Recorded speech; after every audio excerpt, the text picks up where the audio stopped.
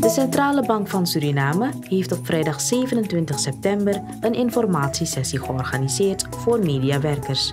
Tijdens deze bijeenkomst is governor Robert van Tricht ingegaan op de verschillende inspanningen die de moederbank in de afgelopen vijf maanden heeft gepleegd om de financiële en monetaire stabiliteit van Suriname te verbeteren.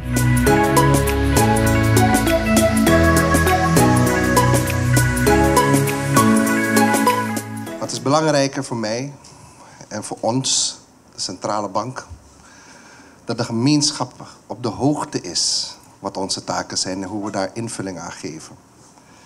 En de eerste constatering is dat er een hiaat is, een gap. En dat merk je ook op een gegeven moment in de verslaggeving buiten. En dat was een van de toppriorities, topprioriteiten. Om te zeggen, hoe gaan we om met onze taken en hoe gaan we dat vertellen aan de gemeenschap? Daar kunnen we niet al te veel laten we zeggen, economische begrippen voor hebben en nemen. Want ieder moet het begrijpen, in elke laag van de bevolking. De eerste statement die ik daarvoor maak, wanneer we kijken naar hoe gaan we om met het ontwikkelen van sociale, economische doelstellingen die Suriname heeft, is het eerste begrip. Waar staat Centrale Bank van Suriname voor? En ik heb hele leuke discussies gevoerd. Eerste discussies met management. En zeg, kijk, we zijn bank van Suriname. Niet bank van een overheid. De overheid, de regering, is die op dat moment voor diep dat termijn aan stuur is. Om het land te besturen. Maar een bank van Suriname is de vertegenwoordiger van je land.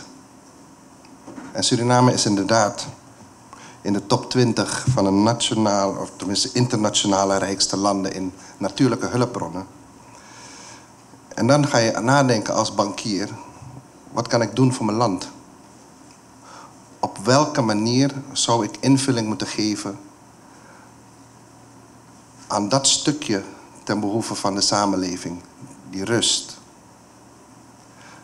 zou dat zijn monetaire stabiliteit? Ja. Financiële stabiliteit? Ja. Maar het grootste nog, vertrouwen.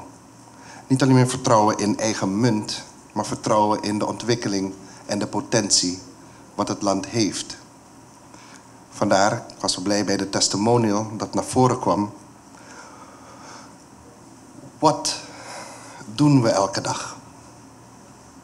Waarom komen centrale bankiers naar het werk? Wat is uw bijdrage? Wat kan ik morgen vertellen aan mijn medemens die ik op straat tegenkom, aan mijn buurvrouw, mijn overbuurvrouw, mijn buurman, meneer op de hoek? Wat ik vandaag of gisteren of in de afgelopen week en wat ik in de toekomst voor u ga doen? Die vraag moest beantwoord worden. En die vraag hebben we beantwoord. Monetaire stabiliteit. Hoe wekken we het vertrouwen? En daar zie je dus op een gegeven moment als eerste staan... Implementing a Reserve Money Targeting Regime. Wat betekent dat? De internationale reserve, dan wel onze monetaire reserve... dat wekt het stukje van vertrouwen. Dat is de dekking van onze valuta en goud en de afdekking van onze SRD-munt. En wanneer ik dus op een gegeven moment heb aangegeven aan het begin dat wij deze zullen doen stijgen tot een target van reeds 800 miljoen USD in totaal, dan werd ik toen ik binnenkwam een beetje verklaard voor ja, prater, geen doener. Er was heel veel, zal ik zeggen, twijfel dat dat behaald zou worden. En ik mag u vertellen, vandaag is 27 september, dat wij richting de 730 gaan. En dat is een exponentiële groei van toen wij dat per 1 maart hadden aangetroffen. De vraag dan komt, ja, hoe doe je dat? Is dat middels lenen? Nee. Wanneer ik aangeef dat Suriname grote potentie heeft, dan doen wij op die manier inkopen bijvoorbeeld tot 20% van de goudexport in SRD-munt. De wisselwerking daarin betekent dat als wij goud inkopen met onze lokale munt, omdat wij een goudproducerend land zijn, en nogmaals, wij zijn Bank van Suriname, dat verkopen in het buitenland, dan krijgen we daar USD voor gestort. Dat is de directe link en de directe sterkte van uw munt.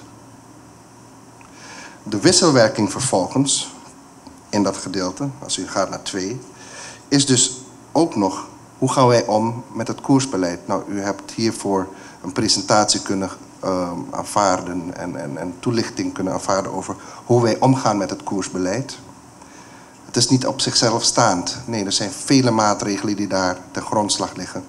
Waar uh, mijn verwachting is dat dat goed uiteengezet zal zijn. Financiële stabiliteit. Het gemak van betalen. Onze eerste daad daarin was dat wij binnenkwamen en zeggen: maar als SRD onze munt is, waarom moeten we kosten betalen voor de transacties, de digitale en girale transacties? Die zijn afgeschaft. En ik heb grafieken genoeg gezien dat in de afgelopen zes maanden het digitaal verkeer van SRD's enorm is toegenomen en het cashverkeer in SRD is afgenomen. Checkboekjes minder zijn uitgegeven.